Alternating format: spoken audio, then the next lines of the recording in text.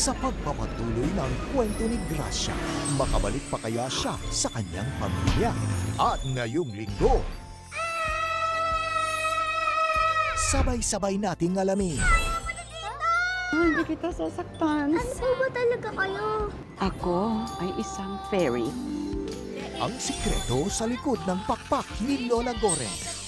Pwede po ba akong maging fairy? Daig kayo ng lola ko, linggo pagkatapos ng Hay Bahay.